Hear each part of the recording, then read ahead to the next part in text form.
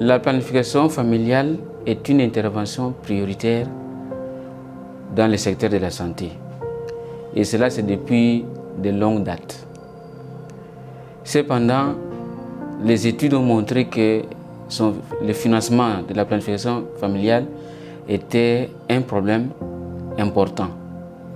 Et sur le terrain, ça se remarque par la faible disponibilité des intrants ou des commodités de la planification familiale. Nous avons commencé des réflexions dans le secteur pour voir comment on pouvait régler ce problème de disponibilité des intrants de planification familiale. Et dans l'entretemps, on a constaté que le financement des intrants de planification familiale dépendait surtout de l'aide extérieure. Et il n'y a presque pas du tout le financement du gouvernement dans le domaine de l'acquisition des intrants de contraception et j'en passe. Et cela fait qu'en 2013, nous avons saisi l'opportunité du gouvernement à travers le programme d'équipement des structures sanitaires qui avait une composante importante d'acquisition des médicaments. Et nous avons fait le plaidoyer auprès de son Excellence Monsieur le ministre de la Santé pour qu'on aligne l'acquisition des intrants de contraception parmi les molécules achetées dans le cadre de la composante achat médicaments du projet.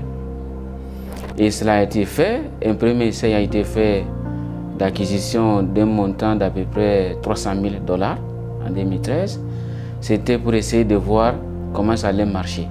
Parce qu'on n'avait pas assez d'expérience d'acquisition des, des de planification familiale avec les ressources du trésor public.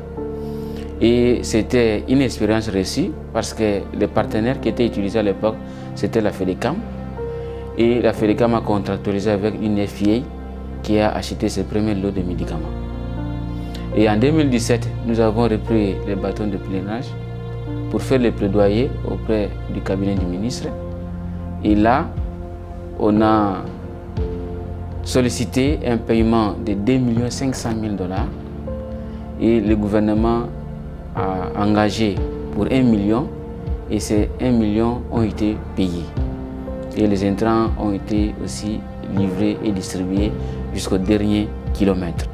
Avec le contexte électoral, les priorités ont changé. Le pays a connu des épidémies successives de la maladie à virus Ebola, ce qui fait qu'on a moins regardé du côté de l'acquisition des intrants de la planification familiale et il fallait attendre un autre programme en 2021 qui a été conclu par le gouvernement et le Fonds monétaire international.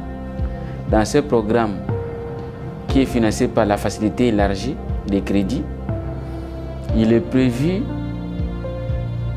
pour le gouvernement d'atteindre une cible indicative des dépenses de la santé.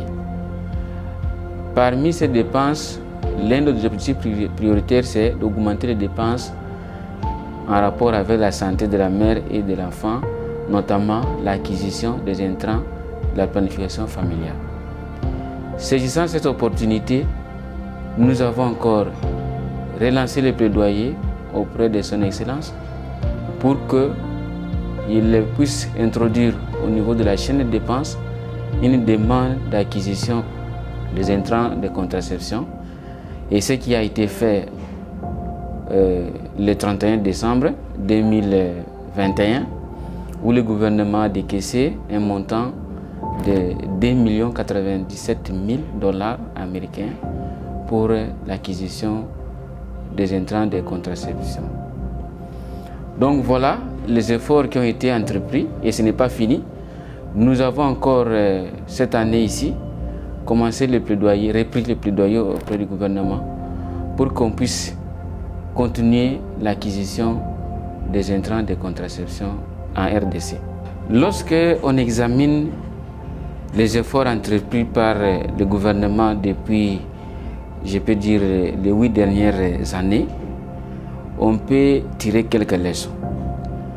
La première leçon, c'est que pour que le gouvernement d'un pays comme le nôtre décaisse de moyens importants pour l'acquisition des intrants de la planification familiale, il faut d'abord faire de la planification familiale comme une intervention prioritaire pour le gouvernement. Et cette priorité doit être traduite clairement dans le budget de l'État consacré à la santé à travers une ligne budgétaire. Et cela ne suffit pas. Il faut aussi veiller au niveau du ministère et aux différents, et les différents acteurs que les besoins soient pris en compte dans le cadre du plan d'engagement budgétaire qui est élaboré chez nous par le ministère du Budget chaque trimestre.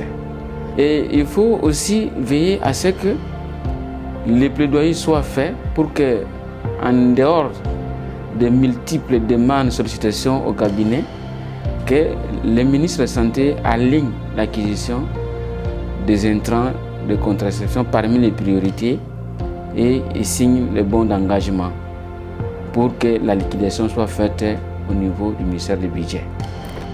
Ça, c'est la première leçon que nous avons tirée dans cet exercice. Et nous avons aussi compris que l'acquisition des intrants de planification familiale dépend aussi du contexte du pays et des priorités au moment où on veut acheter ces intrants. Et cela, pour la RDC, on a vu que pendant la période des épidémies, notamment celle euh, de la maladie à virus Ebola, que l'attention du pays ou du gouvernement était plus focalisée vers la lutte contre cette épidémie que l'acquisition des intrants comme c'est de la planification familiale.